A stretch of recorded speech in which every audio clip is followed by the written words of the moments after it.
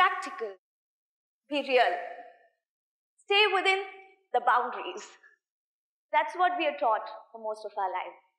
But today I would like to take you on a journey of imagination, dreams, and challenging boundaries, as this picture states about me. So, looking back at the 16 year old I was, almost half my lifetime ago, I was challenging boundaries. I was questioning my parents and the world around me of what they warned me of the world about. But I was a free bird. I wanted to explore, I wanted to learn, and maybe burn my wings on the way.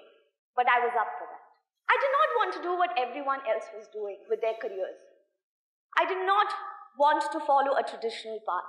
When asked, most of my friends said, I want to be a doctor, I want to be an engineer. And I was dealing with a very simple question how do you know what you want to be? Hence, I decided to defy the rules. With a simple resume of a high school qualification, I landed up at HDFC Bank in my small town and went up to the branch manager and said, I come from a very humble family. I don't understand this process of investing the most crucial years of my life in an education that I don't know what I will be signing up for. So could you give me a job? He smiled at me and he said, stand at the ATM and sell as many systematic investment plans as you can. I looked at him with eyes open. What was that? But I was like, I will take that challenge. Two and a half months of a summer internship, I learned the first lesson of my life. If I would become a banker, God save your bank accounts. I would be the worst banker. That was the first learning I had at the tender age, and it built my first pillar of my bridge to reach my dreams. The pillar of experimentation. Just try, give things a chance. Life is just too long. When I was asked by people, What is your ambition? We go to little people and ask, What is your ambition? They look up to us and they say, Yeah, she's an engineer. I want to be like her. So, similarly, I would answer with a very long answer. I want to be an innovator. But I hate traditional engineering. I will not make it to IIT. I want to be a healer and create impact, but I cannot study traditional medicine. I want to be a leader, but does an MBA really take you through that journey? People would laugh at me and say, Excuses, you would never do anything at all with the way that you answered this. In this journey of experimentation, I actually found my true passion product design. It helped me invent solutions for the bottom of the pyramid, connect with people, and really create true impact.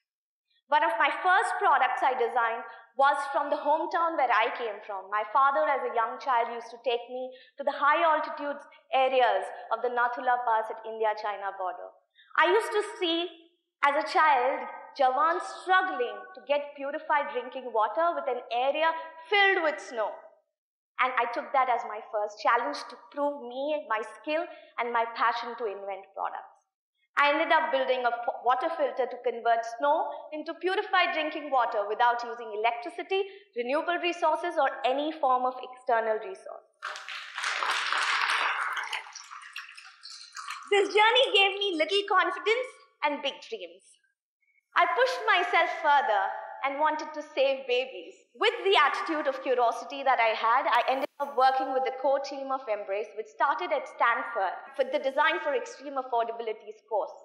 With learning design thinking a decade ago, we were able to invent a low-cost infant warmer for premature babies. Six babies die every minute in India, and we were able to save them with a very simple product that worked without electricity, was portable, improved mother-child bonding so that the mother does not see the baby in a glass box anymore. And we've been able to reach over 22 countries. That was my journey with Embrace. When you want to walk on the right path, there are a lot of people who want to join hands. And we formed an amazing team of friends who wanted to empower farmers back in 2007. Help farmers suicides with a simple mobile phone application in order to help them with their work. This journey of inventing products, saving babies, helped me become a leader in product design, innovation strategy, design thinking for a decade now. And I did exactly what I wanted to do without following a traditional path. Coming from a very small town called Siliguri, it's at the foothills of Darjeeling. It's extremely beautiful. It's also called the chicken neck of the Northeast. My parents were always very confused of my weird choices of career or going to a village to save a baby without knowing anything about medicine. They warned me because they came from traditional backgrounds and from impoverished. I understood their fears that they did not want the same for me. In small towns where there is less exposure and money is the defining factor of success. Lack of money entails to fear, distress, immense humiliation, and constant reminder that you are no good. Coming out of a situation, passion and patience, which I constantly saw as I grew up from my parents and my aunt. Their perseverance and patience to move mountains in that space. But what was I afraid of? I wasn't afraid of experimentation. I wasn't afraid of exploration. I wasn't running after jobs which would offer millions of dollars. I was, the seed of failure was set in my head. I was told that if I fail at something equals I am a failure.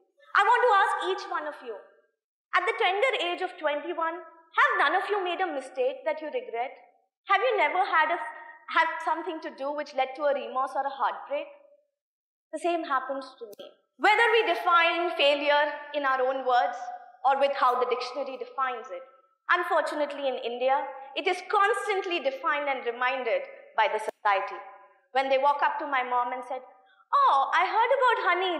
Feels so bad, no, when your child turns out to be a disaster and such a failure and such an embarrassment for you. She lives somewhere else, but you have to bear the brunt of it. My mother didn't do anything to hear that. But that's what failure means in our country today. For me, at the age of 26, because of something I had done at the age of 21, I failed. Sorry.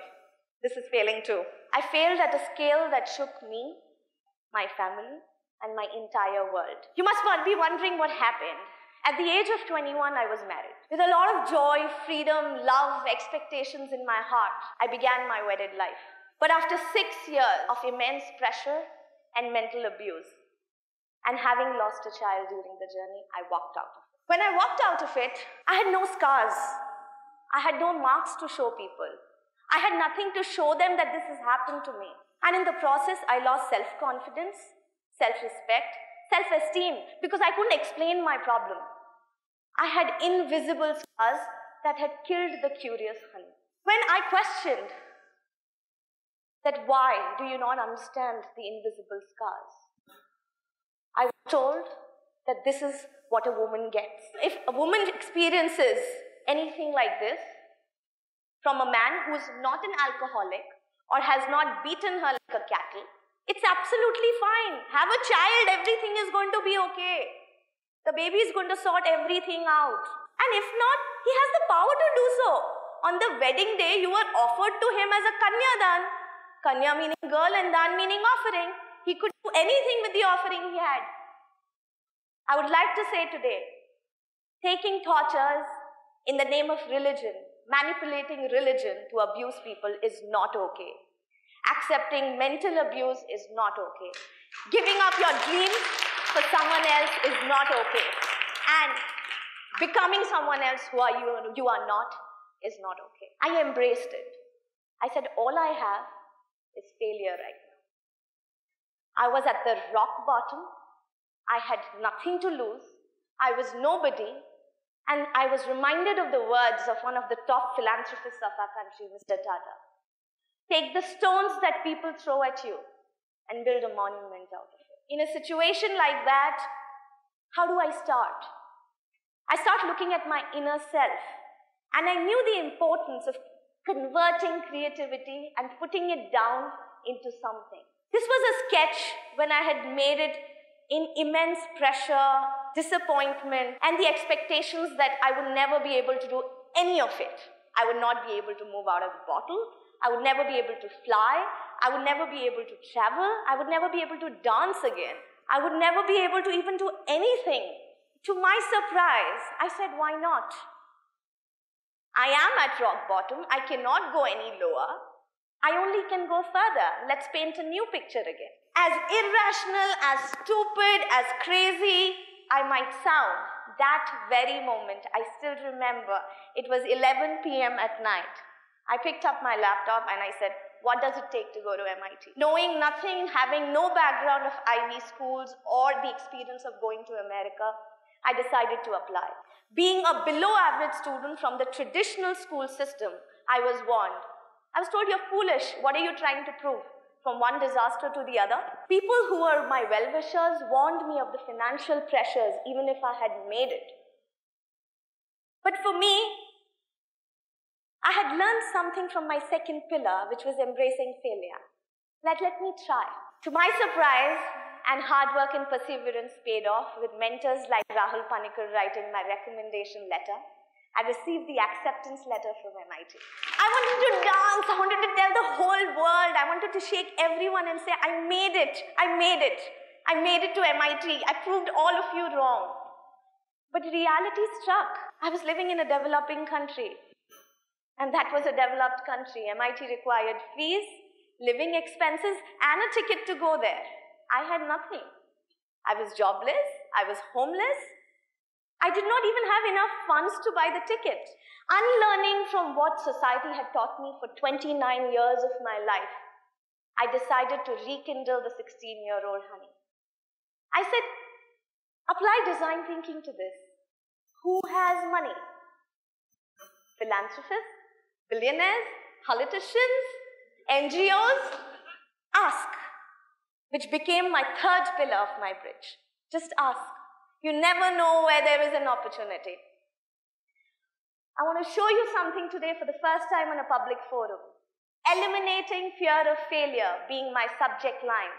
For 32 rigorous hours, I sent emails to top billionaires in the world by Google being my guide permutations and combinations of their emails because I had nobody to introduce me to them. I was nobody. Nobody's going to introduce me to Ratan Tata or Bill Gates. I kept emailing them till I stopped receiving the failure delivery message because I know I'd cracked that email ID. I started a crowdfunding campaign for my tickets. But in a week, I had raised only $2,581 and exhausted my little network of friends who wanted to really help me. They came to me, they shook me and said, Honey, wake up, you can't go, let's try something else. You won't make it, take up a job.